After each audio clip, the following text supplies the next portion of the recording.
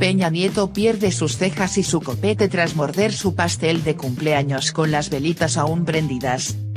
México. Un fuerte miedo y angustia experimentó el expresidente de la República, Enrique Peña Nieto, luego de que se quemara el rostro al morder su pastel de cumpleaños con las velitas aún prendidas, lo que provocó la pérdida total de sus sensuales cejas y su reconocido copete. Según el asistente de cumpleaños tras cumpleaños el exmandatario, por alguna extra razón, se empeña en morderle al pastel con las velitas prendidas, sin embargo en celebraciones anteriores su familia lo ha detenido con la finalidad de evitar una tragedia, cosa que no sucedió esta vez.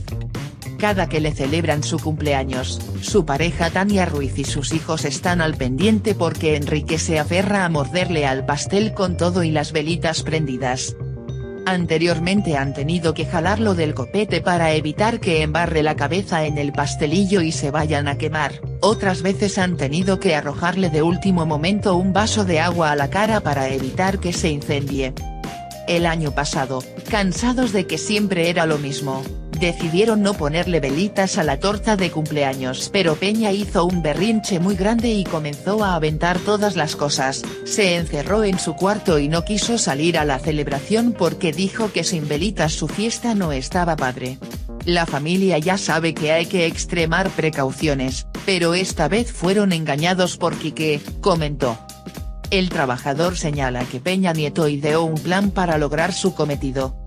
cuando estaba a punto de embarrar la cara en el pastel, Peña le gritó a su familia volteen a la puerta, les traje a Enrique Iglesias para festejar, y al momento que todos se distrajeron emocionados él rápidamente aventó su rostro a las velitas incendiándose casi de inmediato.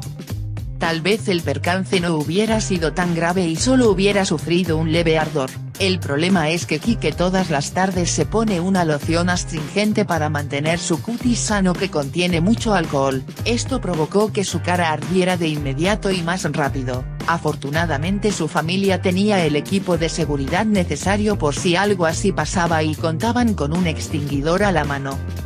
Todos lo ayudaron a apagarse y en menos de tres segundos el fuego desapareció. Peña lloró mucho y fue llevado al hospital de emergencia, ahí le dijeron que así como la loción hizo que el fuego ardiera más rápido también creó una capa protectora en su cara, por lo que solo perdió sus cejas y su copete y el incidente no pasó mayores. Peña Nieto está muy triste porque él vive de su imagen, por eso ha decidido a tatuarse unas cejas en lo que le creen las suyas y usará peluquín para seguir luciendo igual de sexy que siempre, puntualizó. Por, Omar Ariel Cortés, fuente, El Ruina Versal.